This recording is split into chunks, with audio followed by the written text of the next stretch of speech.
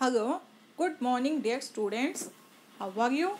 Hope you all are fine and enjoying the online class from your home.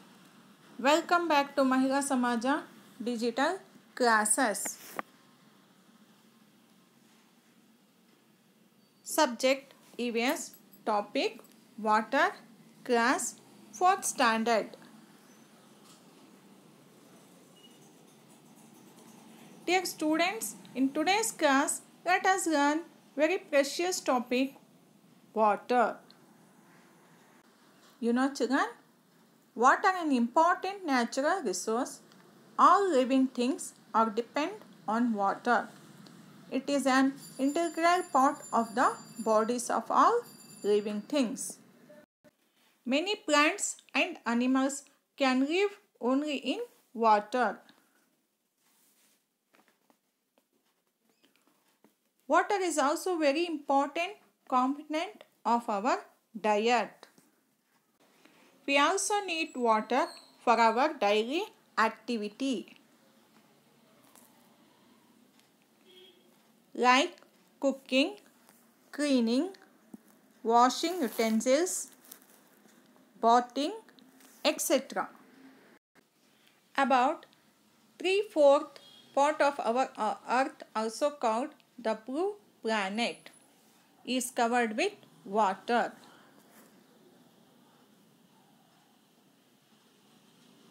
This water is present as fresh water, sea water and brackish water.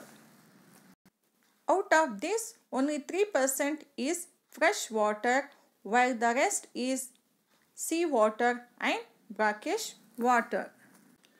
This is why we must always use water carefully. We should not waste water.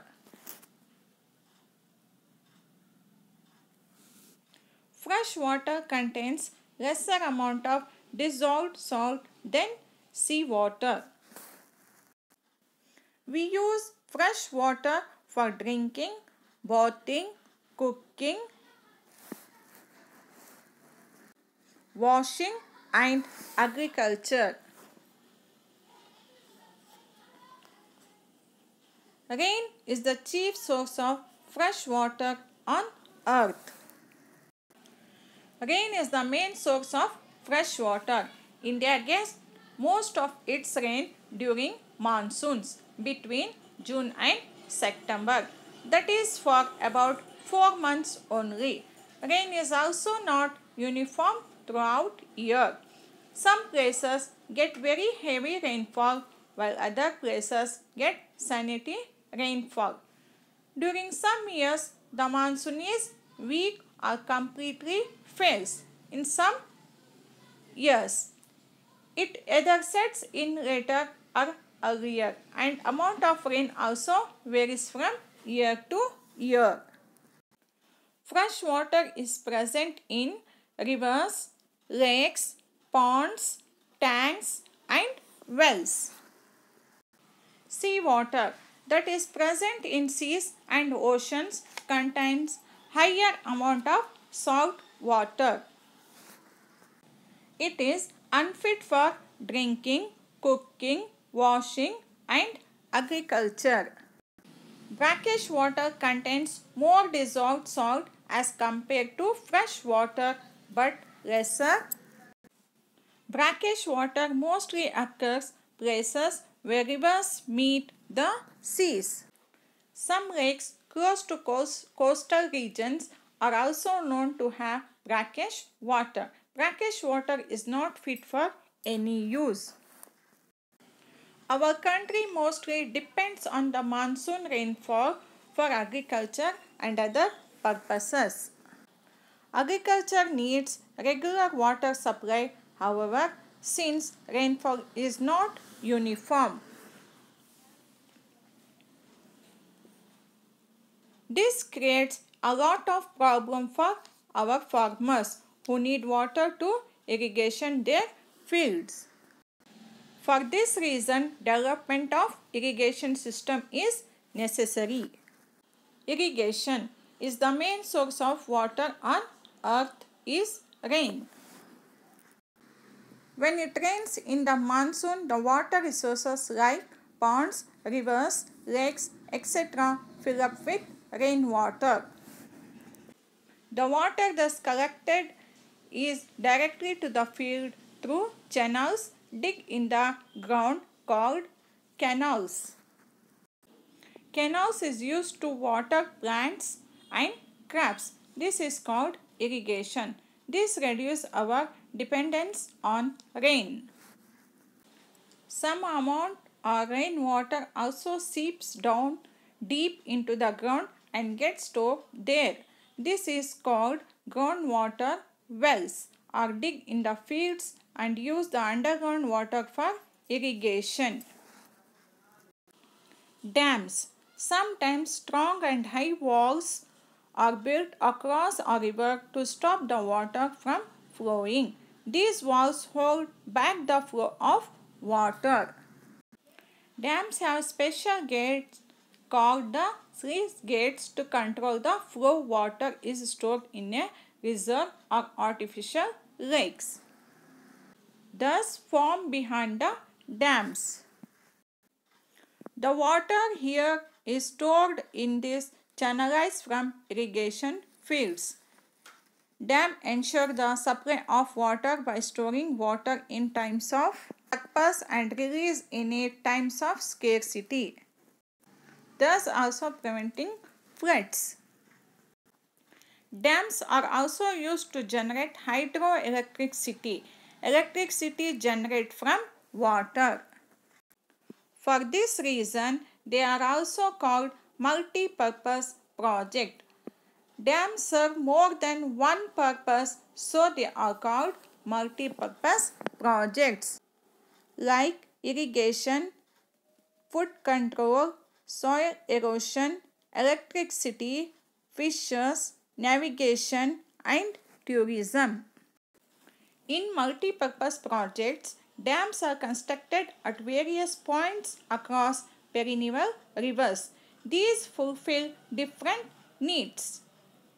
The catchment areas means areas where rainwater is collected naturally and flow to a water body are planted with a lot of trees. This is not only bring in more rain but also prevent soil from getting endured. The freshwater lakes are used for breeding fish. These are also popular tourist spots. Some important dams are multi-purpose projects in India are Bhakra Nangal project and Satluj river. It is one of the biggest dam in the world. The purpose of this project are supplies water for irrigation and electricity to states of Himachal Pradesh, Delhi, Rajasthan, Punjab and Haryana.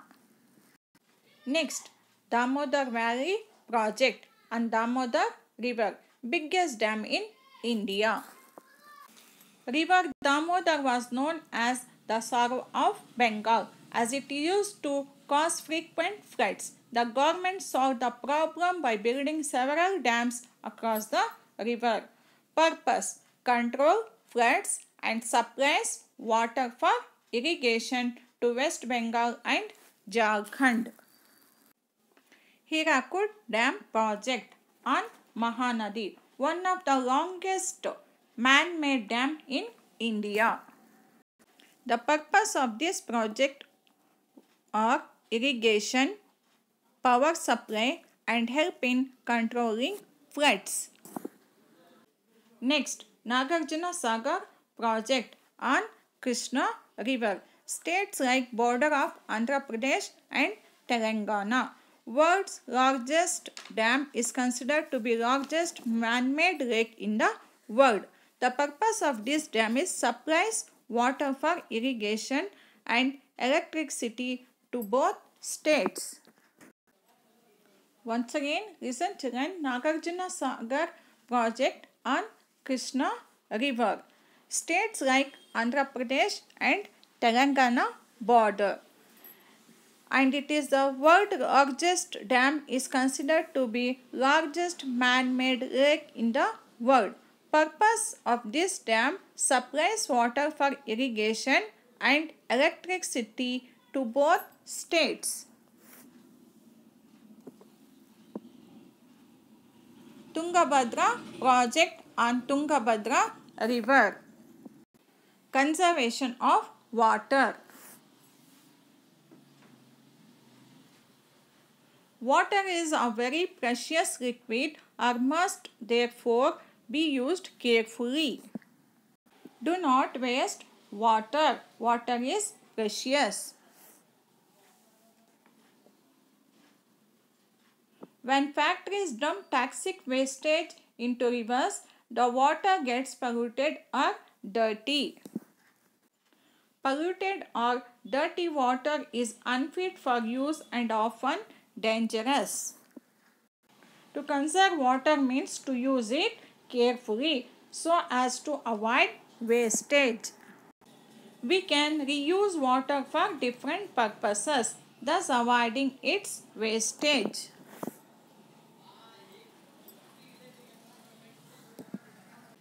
This is called recycling of water. Thus we know about the water resources of India. On my fingertips.